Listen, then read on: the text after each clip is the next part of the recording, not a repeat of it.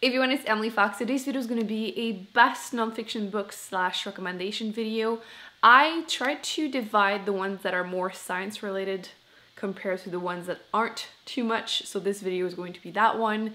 Uh, I just wanted to give you kind of the best of the ones that I've read throughout my time on booktube it's been about four years almost so it is time for me to share a top kind of 10 and then I'm gonna add a few more special mentions and maybe I can actually basically adding a few books that I'm looking forward to reading that are currently on my shelf. So let's go through them. I'm hoping you can't hear my laptop for some reason. It's making the sound of complete like airplane. Why does it sound like an airplane? I don't know why it's freaking out. Uh, let's do this. They're not really in particular order, but maybe I can try to like kind of mush the similar ones together. So like in the historical nonfiction section-ish, uh, we're gonna start with the Radium Girls, The Dark Story of America's Shining Women. I knew nothing about this whole history thing. Uh, I don't know if it's because I'm Canadian, too young, just don't know a lot about history. It's not really my jam. Uh, but I went into this just because I kept seeing the book mentioned in like, you know, best new nonfiction. So I wanted to try it. I did go through it as an audiobook, which I don't really recommend. I don't say that often, but I feel like the audiobook wasn't super great. Uh, I know like for part of uh, the narration, there was a lot of like saliva noises, which is not very pleasant to listen to. So uh, yeah. With that said, I'm not sure I would have finished the book without the audiobook because of how gruesome and almost repetitive it started feeling like, which that sounds terrible. Um, anyway, you're following uh, the story of these women that worked in uh, this manufactory. Factory, okay. And uh, when we discovered radium, we didn't know anything about, you know, radioactivity, how it would affect human body. So these women just knew that this paint glowed in the dark. So obviously people wanted to buy this. They wanted to buy watches and clocks that glowed in the dark. It's very practical. So it was just a very exciting discovery. So they would use the paintbrush, but uh, in order to make them very precise, they would put the brush in their mouth, twist it, so obviously radium accumulated in their body, uh, it just tends to accumulate in the bones. So uh, you kind of hear about the horror story that became their life and how uh, a lot of people that knew re realized eventually uh, the consequences were trying to hide it in order to keep making money and it's absolutely horrible. Anyway, uh, just very, very horrifying. Uh, do not recommend this book if you are sensitive to anything gruesome because quite frankly, I think it's one hour through the audiobook. There's a scene where uh, one of the first women goes to doctor because she has jaw pain and a doctor just literally touches her jaw and falls off. So, but hearing these stories, which you kind of have to remind yourself that those are like their true lives, totally horrifying, kind of leaves you wondering also what's the radium of our generation, which that sounds a little bit like a conspiracy theory, but when you hear how much effort was put into trying to like cover it up, it's totally horrifying and it was interesting. Oh, I don't like that word for this book, but I feel like I'm gonna say that for a few books here and like just hear me out. I definitely mean more like enlightening, just just yeah, yeah, there's no better word, but you know what I mean. So uh, if you are into these kind of books, I highly recommend this book. Definitely interesting for sure. The next one in the same category would be The Immortal Life of Henrietta Lacks. If you have any kind of background in science, you probably have heard of the HeLa cells, which were actually stolen from this woman. In this book, you're following kind of her life, her death, then you kind of follow uh, her family, and then basically more about uh, HeLa cells, which was super interesting. I didn't know anything about her, obviously, because it's been hidden. And Henrietta Lacks was a black woman in the US who went to the doctor because she was having pain. Turns out she had cancer, cervical cancer, and the doctor took her cells without asking permission and uh, they essentially started using them to do a lot of research because they were immortal. They would just grow very, very fast, which was practical for science. And um, her, her family never got any recognition, any money out of this, and they were used, they're still used to do so many discoveries like polio vaccine, cloning, gene mapping, and obviously a lot more. So it's kind of horrifying to hear her story, how they just, you know, never gave her anything, and seeing that her family, which there are pictures actually in the book, still nowadays can't even afford, you know, health insurance but some people have made millions out of, you know, stealing her cells. So uh, also very interesting. I totally recommend it if you want to learn more about it. Definitely did enjoy that one too. One book that I think everyone, but especially women, would benefit from reading is The Gift of Fear, which I feel like has been well known for a while. Actually, how long ago was this published? 1997, it's not that bad. Um, this book, this book though, it was recommended to me a few years ago and I actually need to reread this. Essentially, the author reminds us that fear is actually a good thing and we should listen to that little voice inside of us that I feel like, again, women especially were told to not listen to, like to not insult anyone, to always be polite, you know, like sometimes you'll meet someone and you just don't really trust them, but in order to be polite, you don't say anything, you don't do anything, and how these things get you killed. So uh, the author basically tells you to you know, F politeness and everything. But I did feel like some of the advices and example in there were very uh, useful uh, whether to be reminded that, you know, if you're on a date and someone is not taking no for an answer, it's a red flag. Be careful, protect yourself. But it also helps you uh, deal with things like if you have a stalker and everything. So I uh, would highly recommend this book if that's something you are into, slash, again, I do think most people would benefit from reading it. So definitely a good nonfiction to pick up. The topic of the next book was definitely fascinating to explore, and it is so You've Been Publicly Shamed by Jon Ronson. This was published in 2015, but I feel like the example seems almost like old because again, in five years on Twitter, a lot of people have tweeted some dumb stuff uh, for sure. but uh, the author is basically exploring, like I was saying, people tweeting, like, you know, there was this woman that tweeted something about HIV in Africa. And uh, by the time she got out of her plane ride, uh, she had lost her job and her whole life was a mess and uh, he's exploring the consequences like right after uh, what they said and how the way they reacted changed the outcome years later or months later. And i thought it was really fascinating to look like oh if they were defensive or shameless you know the different reaction from the public. Also what the public would do if it was uh, a woman or a man which not really surprising how after men they would go for a job for example and women it would be a lot of uh, threats of violence and sexual violence and um, I'm going to stop here, obviously, so you can, you know, still benefit from reading the book. I do recommend the audiobook because the narrator is the author, and for some reason, he's just a little awkward, but like in a wholesome way. and it just, I could listen to him talk for hours. He has a couple other books that I did overall enjoy too. Uh, one of them was about psychopath. He just uses those really interesting topic and just does his research. I would definitely recommend uh, this book or any of his other books, although those are the only two I've read. I probably should pick up another one. But yes, I would love actually if it did like a second one because again, I feel like since then, there have been a lot more canceling uh, culture going on and yes, very interesting topic, something very different from any of the books that I've read. So if that's something that uh, you are into, definitely check out this one. Uh, next book I wanted to talk about is Packing for Mars by Mary Roach. She's also an author that takes those like very specific, uh, uncommon topics and just goes for it. This specific one is about astronauts, which was really interesting. Uh, overall, you're probably going to learn more than you ever wanted about how going to the bathroom in space is very complicated, but uh, I'm overall very fascinated about anything to do with space. So for me, that was really interesting. I did say like this was the non-science related nonfiction video, but you know, it makes sense in my head. But yes, I would definitely recommend any of her books. I did read another one about dead bodies. It was Stiff, which would recommend that one too.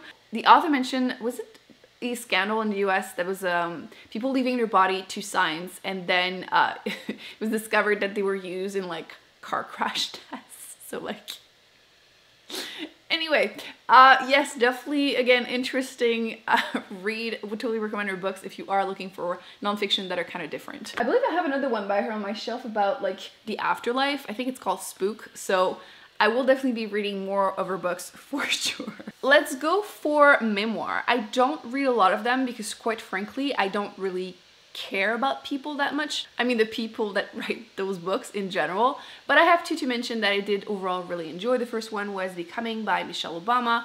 Uh, the book there's like the first part that is like her childhood, which again, not really my cup of tea, but it was still interesting to see where she was coming from and how she uh, was really focused on her education, which basically I'm Canadian, so I didn't know anything. Like she was never, you know, my first lady or anything. I just knew of her a little bit. So I didn't know anything about her background and I didn't know uh, how educated she was, which was really impressive to learn and how she was actually never really interested in going to politics. She was pretty much against it.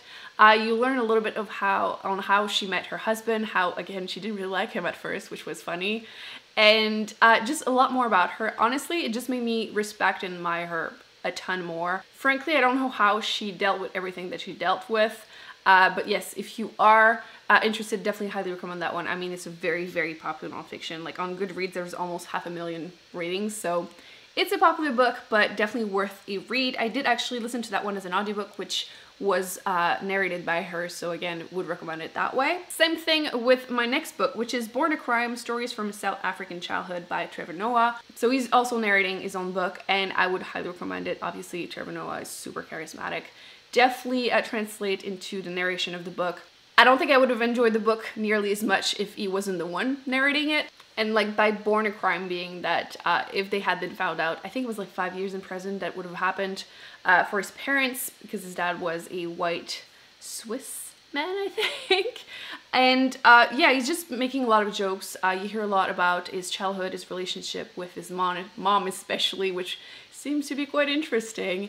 And yes, definitely another book that I would highly recommend if you are into those type of memoir books. One about mental illness, I would recommend uh, Furiously Happy, a funny book about horrible things by Jenny Lawson.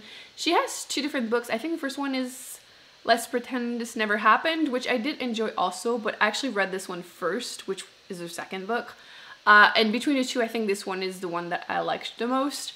Uh, basically, the author uh, explains how she's trying to deal with uh, a lot of mental illnesses and how she's trying, no matter what, to live, you know, furiously happy.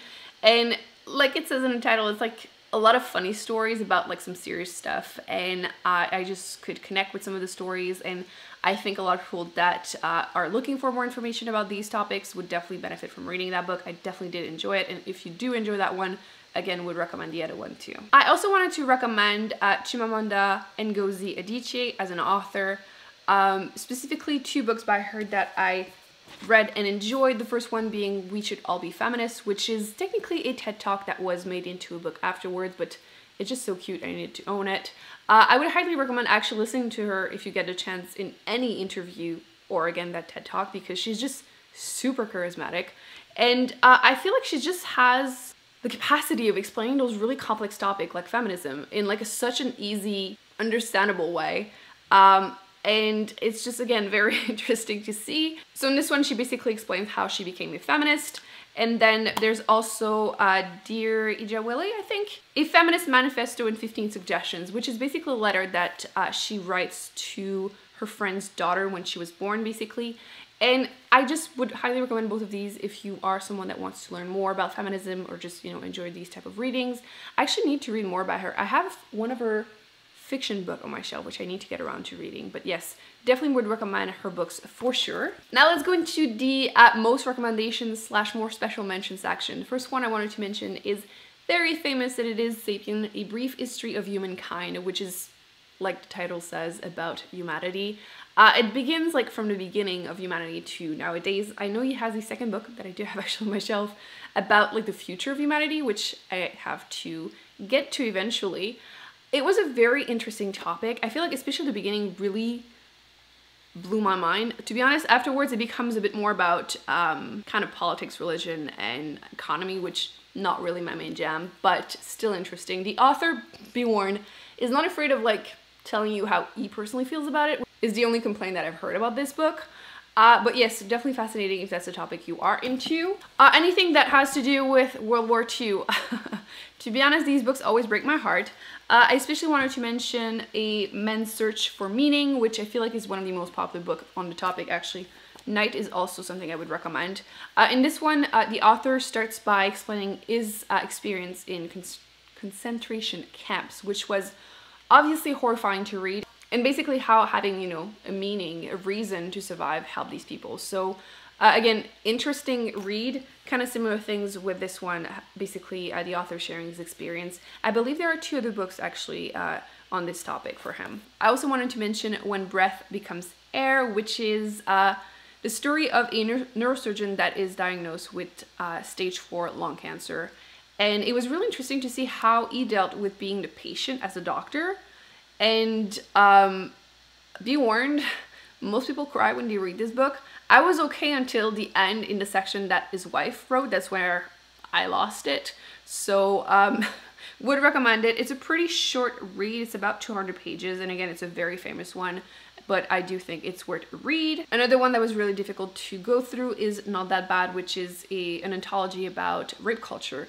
Uh, a bunch of different people wrote their experiences and uh, I do feel like you will find at least one story in there that uh, you will personally connect with.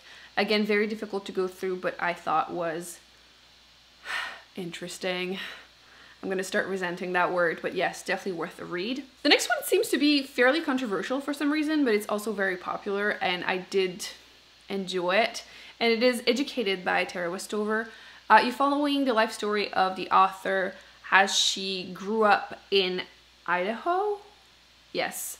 Uh, basically living with a family that was, uh, they were like survivalists, basically uh, canning and, you know, preparing for the end of the world and how she went from being homeschooled there to having a PhD. Be warned, uh, a lot of abuse. Honestly, if it weren't for the audiobook, again, I don't think I would have finished it because there are specific sections that were just absolutely horrifying to read or in my case listen to so I probably would have put the book down and never picked it up again so again be warned but it was still raw interesting and then last but not least I wanted to give a quick shout out to Invisible Women Data Bias in a World Designed for Men so we all know obviously women are you know half the population but it's kind of crazy how the world is not made for them in a lot of things. For example, if you go just with seatbelts in cars, they're not made for women. Uh, usually it results in more um, injuries and death whenever there are car accidents. There's also the fact that very often uh, women will not be test subject whenever a medication is being tested. And obviously there, there are reasons, you know, hormones and everything, which makes sense, but it still means that often we don't know the effects on women and it has happened that uh, there were some pretty horrifying consequences because of that. So a lot of things like that, which are again interesting, but man is it frustrating to read. And super quickly, because this video is going to be very, very long, I wanted to mention three books that are currently on my physical TBR that I do want to read. Uh, the first one, I mentioned it quickly earlier, so let's do this right now. This is Homo Deus, A Brief History of Tomorrow, which is, like I was saying, kind of part two of this book, So for the Future. Definitely interested in reading that one very soon. Uh, I have On Writing by Stephen King, which is um, part biography, part collection of tips for the aspiring writer. I feel like I've heard really good things about this one. And then finally I have In Order to Live, a North Korean girl's journey to freedom. So this is going to be it for this video. I hope you enjoyed it. Thumbs up, subscribe if you want to not miss out on future videos. I will be putting more actually on the screen that I recommend you check out. And don't forget to actually let me in the comment section uh, if you have read any of these, what you thought about them, or if you have any other recommendations of non-science-ish non-fiction that you think I would enjoy or other people would. And I will see you in my next video very soon. Bye.